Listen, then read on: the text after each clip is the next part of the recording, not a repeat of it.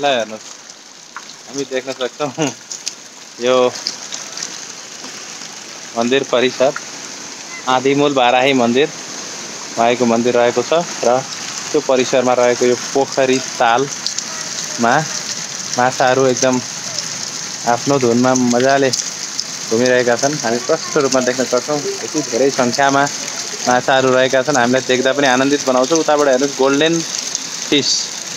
भनेर चिनिन्छ यो सुनौलो रङको माछाहरू दौडिरहेका छन्।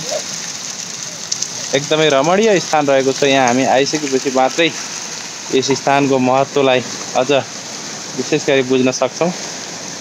हामी यहाँ बसिरहँदा यहाँ परिसरलाई हेरिरहँदा जुन खालको एक अनुभूति भएको छ तपाईँहरू पनि यहाँ अवश्य आउनुहोला। यो एकदमै पर्यटकीय क्षेत्रको रूपमा यसलाई विकास गर्न जरुरी छ किनभने आदिमूल बाराई माईको मन्दिर यहाँ रहेको छ र यो क्षेत्रमा आउनको लागि पैदल यात्रामा आइयो भने हामी करिब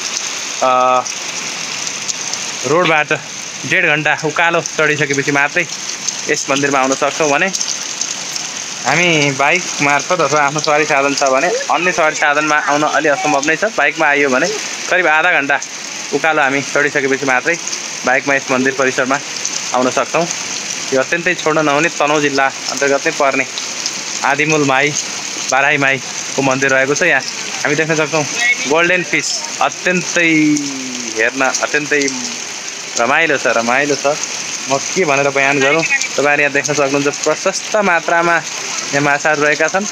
अझ जुन खालको मजा आयो गोल्डेन फिस हेर्नमा छ त्यो अरूभन्दा पनि यहीँ आएर अनुभूत गर्नको जस्तो मजा हामी कहीँ देख्दैनौँ।